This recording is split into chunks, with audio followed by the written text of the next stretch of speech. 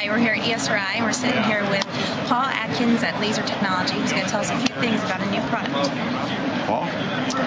So my name is Paul Atkins. Um, we're featured here the TruPulse 360.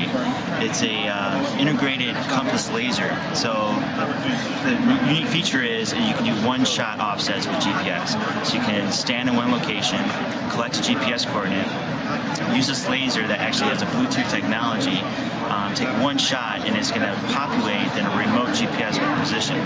The way that does that is this actually measures slope distance, vertical distance, horizontal distance, your degree of inclination, and it has a compass so it gives you the bearing. So it's taking really the raw data of that, the slope distance, slope distance, and the um, uh, will give you then the remote GPS point. This integrates with the most popular uh, data collection um, in the world of ESRI and ArcPad, uh, TerraSync from uh, Trimble, and um, it's a great unit. It's ready to go.